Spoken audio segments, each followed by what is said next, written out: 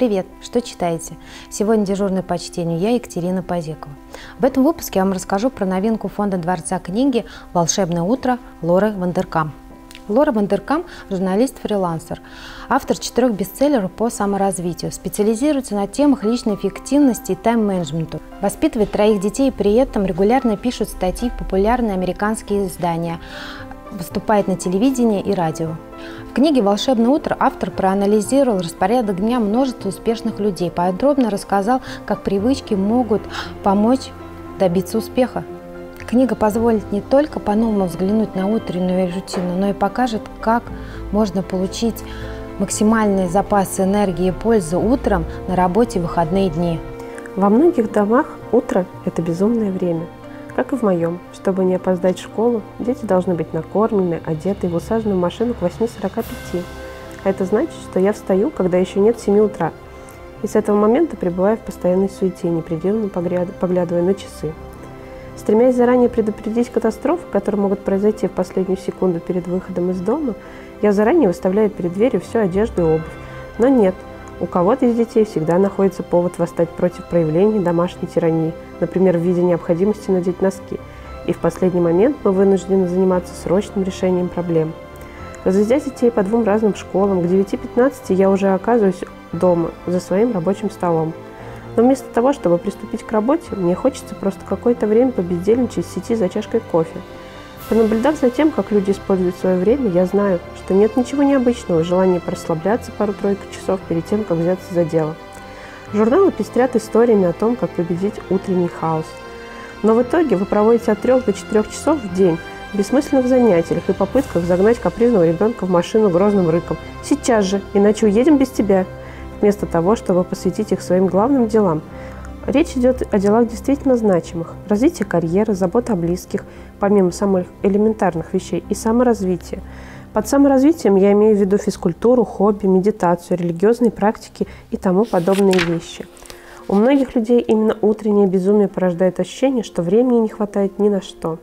Времени достаточно, просто оно в основном уходит на малопродуктивную суету, шум, гам и тарарам, которым обычно сопровождается выход из дома – но утро не обязательно должно быть таким. Внимательно изучив начало своего собственного дня, даже в сумасшедшие будни, я вижу, как можно их усовершенствовать.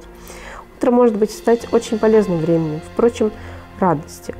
А, временем, которое можно посвятить развитию навыков и созданию привычек, направленных на самосовершенствование. Понятно, что способность научить, научиться проводить утро с пользой в нашем безумном мире может выглядеть чем-то на грани подвига – но к тому моменту, когда все остальные только приступают к завтраку, самые успешные люди уже успевают заработать победные очки в своем движении к жизни, которой они хотят жить.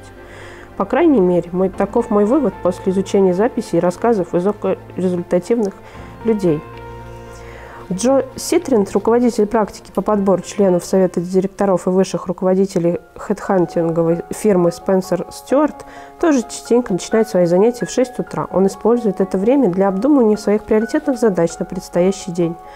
Как-то раз, несколько лет назад, он писал статью для Yahoo «Финанс» и решил поинтересоваться утренним распорядком руководителей, которых он особо уважает. На его просьбу откликнулись 18 человек из 20 адресатов, и оказалось, что самое позднее время подъема для них было 6 утра. Так из заметок, которыми поделился со мной Ситрин, следовало, что бывший председатель Совета директоров и генеральный директор PepsiCo Стив Раймонд вставал в 5 утра и направлялся на беговую дорожку для четырехмильной пробежки – После этого он проводил некоторое время в покое, молился, читал и просматривал заголовки новостей, прежде чем позавтракать со своими детьми, тогда еще подростками. Сейчас Раймонд занимает пост декана школы бизнеса университета Вейк Форест. И когда я поинтересовалась его нынешним распорядком, он ответил, что пробегает по утрам эти же 4 мили практически ежедневно, уже пару десятков лет. Бывает ли нарушение порядка? По его словам, воскресенье начинает чуть позже, а по четвергам он устраивает утро с деканом, трехмильную пробежку с твоими студентами, который стартует в 6.30 утра. Каким бы ни был сам ритуал, есть причины, по которой эти люди придерживаются определенного утреннего распорядка. Они хотят обдумать некие важные приоритеты или заняться чем-то, чем хотят заниматься, и именно в утренние часы – время, которое можно использовать на свое усмотрение. В мире руководства глобальными организациями, где возможны мгновенные коммуникации, время нередко улетучивается за счет вторжения приоритетов других – в том числе приоритетов горячо любимых вами людей, с которыми вы живете. Разговаривая с людьми по этому поводу, их утренних часов, по поводу их утренних часов, я часто слышала фразу «это время, которое я могу полностью потратить на себя». Как сказал Раймонд, я очень жду каждое свое утро. Я очень ценю это время, мое именно личное время. Топ-менеджер вряд ли может позволить себе расслабиться на часочек в дайнере Лоус, Луис в 2 часа пополудни, а вот в 5 для него это вполне возможно. У меня нет возможности спокойно писать посты для своего журнала или заниматься с гантелями в 8-15 утра, поскольку надо собирать детей в школу, но я вполне могу заняться этим в 6-15. Взять под контроль свое утро – эквивалент разумного совета из финансовой области про то, что сначала нужно рассчитаться самим собой, а уже потом оплачивать счета. Если вы собираетесь посмотреть, что вам удастся оставить для себя, только в конце месяца, скорее всего, к этому моменту у вас уже не будет ничего.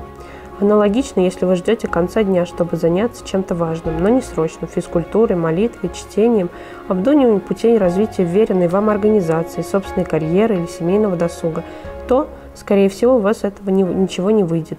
Если это стоящее дело, надо выполнять его в первую очередь. Если делить людей на сов и жаворонок, вроде Раймонда, который говорит, что даже будучи студентом был на ногах уже в 5 утра, то я бы, скорее всего, отнесла себя к совам. В колледже я брала подработки вечернюю смену, например, работая официанткой в кафе до часу ночи, и после этого еще занималась учебой. Даже после колледжа, устроившись на нормальную работу в газету USA Today, который требовал от меня вставать в одно и то же время, чтобы успеть на нужную электричку в город, я старалась отложить все творческие дела на вечер. Я так привыкла, до сих пор время от времени работаю именно в этом режиме. Кстати, а вот какие отзывы оставляют читатели? Замечательная книга, перевернувшая мое понимание о времени.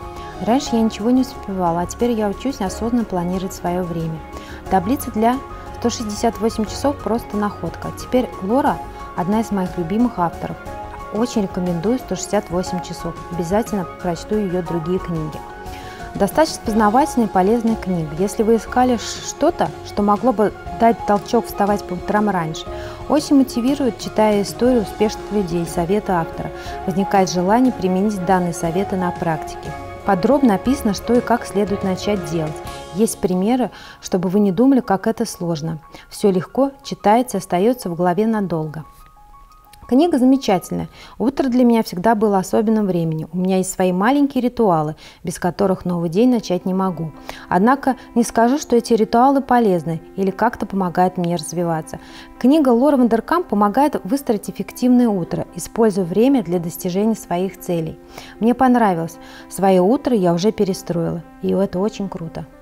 Забавно, но большая часть этих ценных руководящих указаний про то, чем заняты самые успешные люди с самого утра, писалась в кафе поздними вечерами. Однако в тот период моей жизни с маленькими детьми на руках и с работой, которые редко укладываются в рамки обычного рабочего дня, для этого требовались самые разнообразные организационные ухищрения. Надо было договариваться с нянями о дополнительном времени, а кроме того, отвечать перед младшими членами семьи, которые обоснованно полагали, что после школы и выполненных уроков они могут рассчитывать на семейный досуг. Таким образом, вечернее время не подходило для работы, которой требуется сосредоточение. А уж про занятия спортом или какие-то другие подобные дела и речи могло, быть не могло. Я стала подумывать о пользе, которую можно получить, постаравшись не откладывать начало дня в долгий ящик. В неделе 168 часов, но не все они одинаково хорошо подходят для тех или иных дел. Я убедилась в этом, когда стала контролировать свое время работы над книгой об организации времени 168 часов. Я завела журнал учета, куда она заносила время, потраченное на любое свое занятие, если только не забывала это делать. И обратила внимание на некоторые закономерности.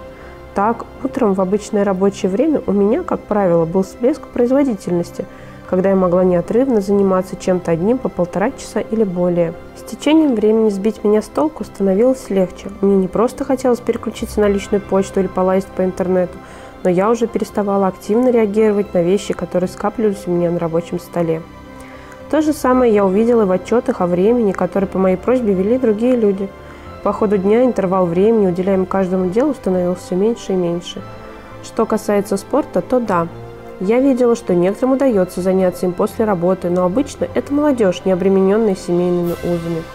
Тем из нас, кто работает на дому, порой удается втиснуть время на спорт и в свой трудовой день – поскольку отсутствие коллег непосредственной близости означает, что душ после занятия принимать не обязательно или вообще не обязательно.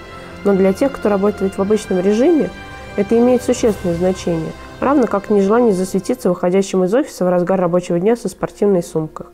С приближением сроков сдачи заданий в рабочее время начинает затягиваться до позднего вечера и уже не до спорта.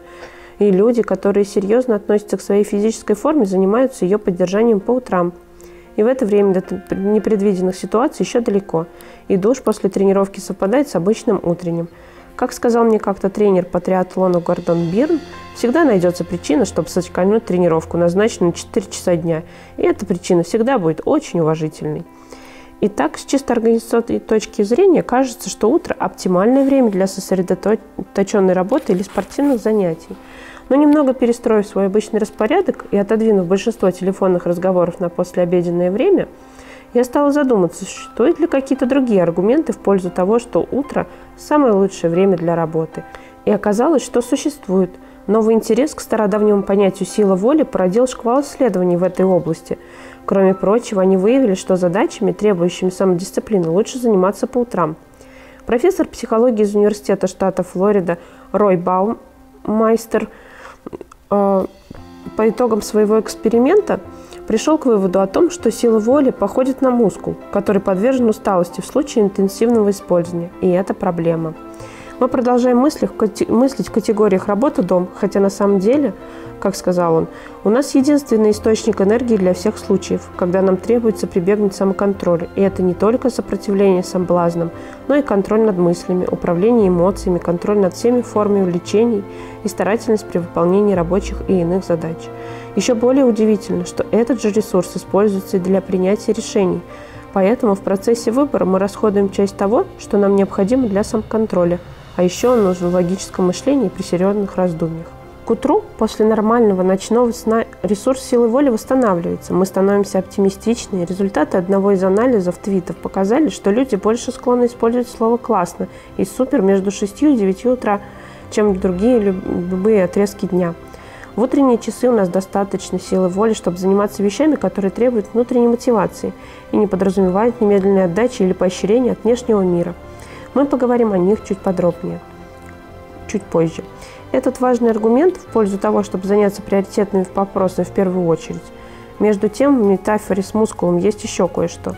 Мускулы можно укрепив, укрепить, затратив на это определенное время.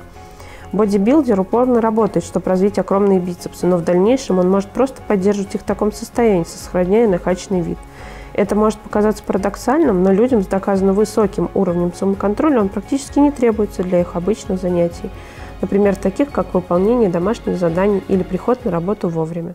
Это издание подойдет тем, кто бесконечно каждое утро переводит будильник на 5 минут, кто действительно хочет делать больше и лучше, кто ищет баланс между работой и личной жизнью. Книга долгое время являлась бестселлером по управлению личной эффективности в Америке. Около 200 отзывов на Amazon говорят о том, что методика в этой книге действительно полезна.